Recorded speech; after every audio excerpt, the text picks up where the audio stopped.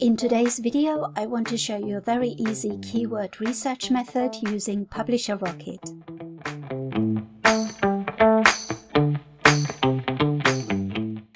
Hello home bosses, my name is Maria Corby from thehomeboss.com.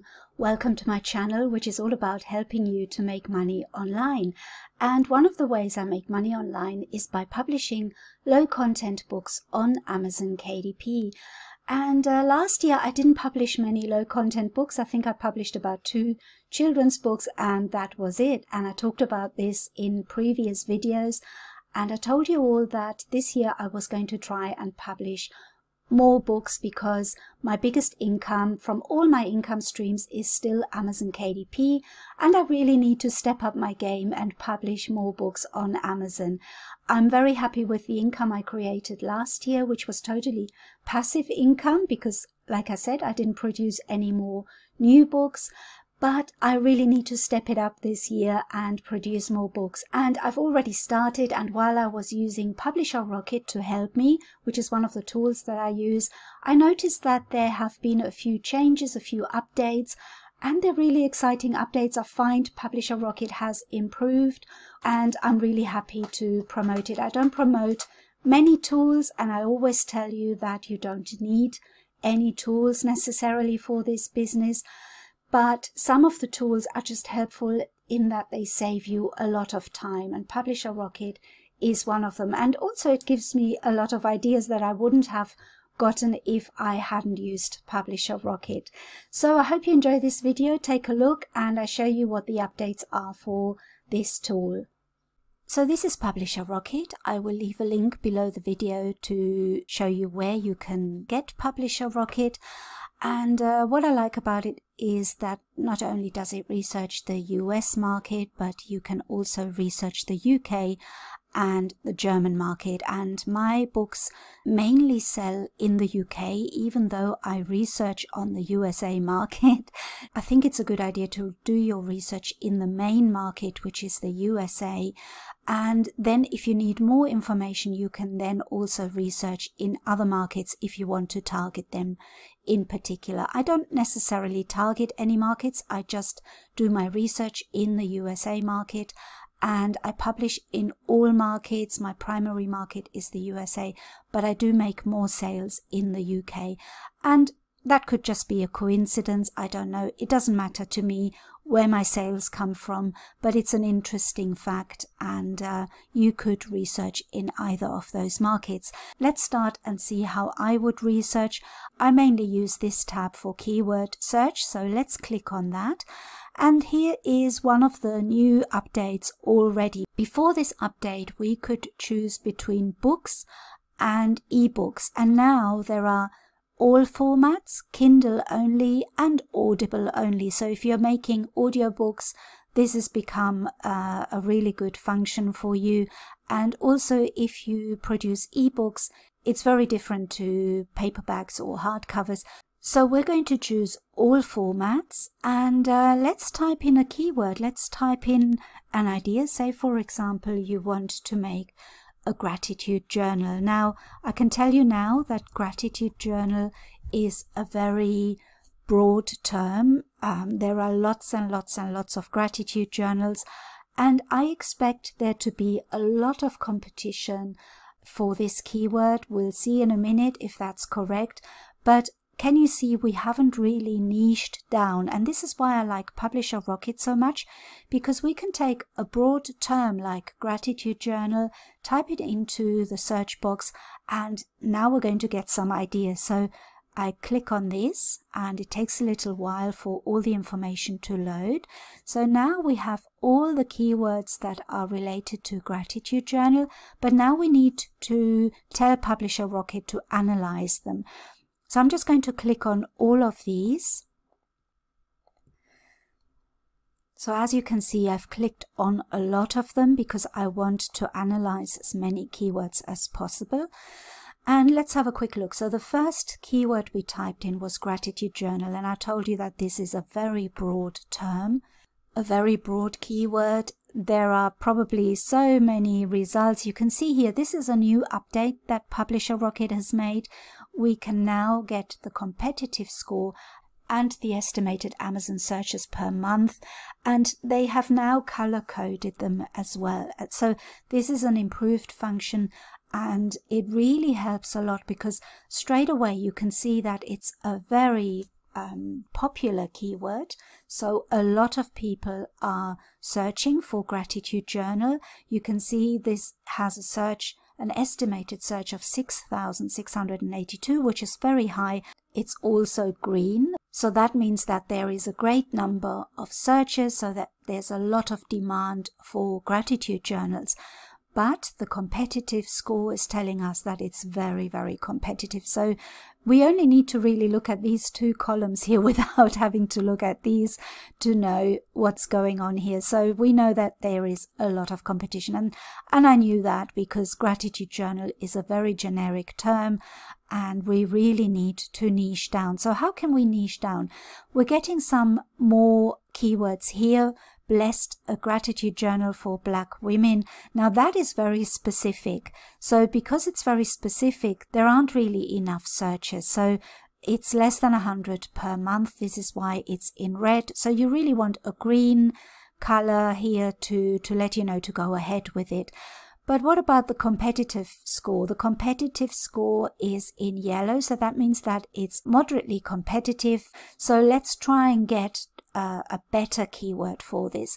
Daily Gratitude Journal. Now, the number of searches is a little bit better. It says it's reasonable, but again, very competitive. So we really don't want to use this keyword. So if I wanted to make a gratitude journal, I want to look here and see what should I call my gratitude journal? How can I niche down on this gratitude journal? I really want to make a gratitude journal, but I want to make one that people are going to find easily. That's what keywords are all about. You want your books to be found by your buyers. And that's why we're looking for these keywords to see which ones we can use to have the best chance of selling our book. And uh, you can see here, if I look down, there are some green um, estimated searches, so we know these are very popular. Gratitude Journal for kids, for men, for teens, for women, so they are niched down, but we need to find one that has low competition.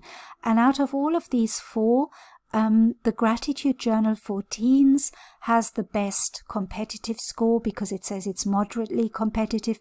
So I could try and make a Gratitude Journal for Teens and use these keywords to to rank higher and for people to find my book.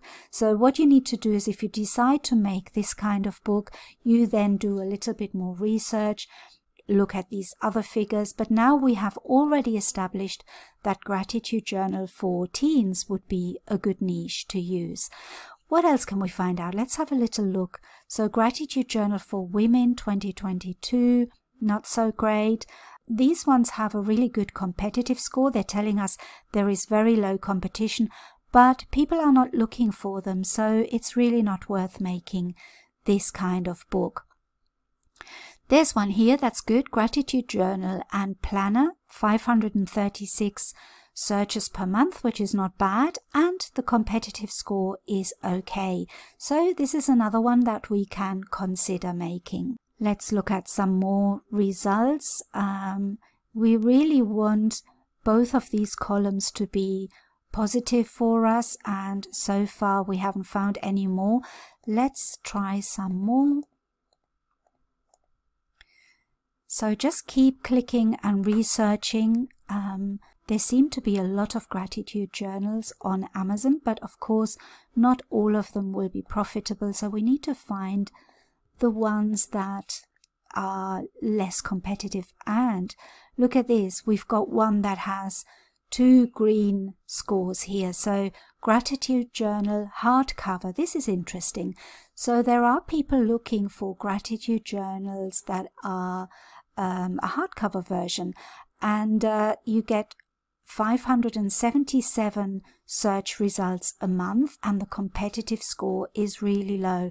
What's really interesting is look at the difference in spelling. So that's really interesting. But it tells me that this is definitely something that I need to look into. I need to explore this a bit more. Don't just go and make a, a gratitude journal with a hardcover. Look into it a little bit more. Look into which of those niches were good and um, and then you can tailor your gratitude journal a little bit more towards that. So don't just go by the scores that this gives you. Do more research once you have these ideas. But like I said, this is brilliant for ideas. I love how quickly I can find books to make that have got a chance of selling. Let's just click on a few more as we get quite a lot more suggestions here. So let's take advantage of that. And there's another one here, Gratitude Journal Joy. So the search results are not great, but they're reasonable and there's very low competition. So this is again something we could consider. There's another one here which has two green scores, Gratitude Journal Kids 8 to 12. That's got a reasonable result in the searches and very low competition. So this is another one. So just by typing in gratitude journal, you have already discovered so many ideas for your gratitude journal, so many books that you can consider making. Now, none of this is a guarantee. I'm not saying that by making these books, you're going to have guaranteed sales. Of course, that's not the case, but you want to maximize your um, possibilities of making sales and this is a really good way of doing that. Here is another one, Gratitude Journal Notebook for Girls. So that's got a, a reasonably good result in the searches and low competition. So we can just go on and you can see how to do it now. You just need to keep clicking so you just need to find the ones that have good results in the search volume and in the competitive score. There's another one here, Gratitude Journal Notebook for women. So you need to look into this a little bit more. Why is this one better than just Gratitude Journal for Women, for example? So you just dive in a little bit deeper into your research and look to see why that is. But like I said, you can get so many ideas from Publisher Rocket. So I think this is a really good tool to guide you in the right direction. You still need to do more research, but it's giving you a really good idea about competitiveness, about if there is demand, because if your book hasn't got any demand, if people are not looking for your book, then you're not going to sell your book. So you need to find books that people are looking for and this is going to help because it tells you not only the amount of searches but also whether it's in a competitive niche or not so this is the way I do my research when I want to have quick ideas and it saves me a lot of time to do it this way. As you can see, we have already found some books that we could create with a good chance of getting some sales. So I hope you found that interesting. This is how I research my keywords when I use Publisher Rocket. There are different ways of researching your keywords. I find this the quickest and the most helpful way to do it. And I've had a lot of really good ideas from using this tool with books that are doing very well for me now. There are other tools that you can use this is the one that I use and I like to promote the tools that I personally use as well so that you know the kind of results that you could get from using one of the tools. So I hope you enjoyed it. I leave you with a video that I made a little while ago about Publisher Rocket that goes into more detail about keyword research and I hope to see you again very soon. Thank you so much for watching. Bye bye.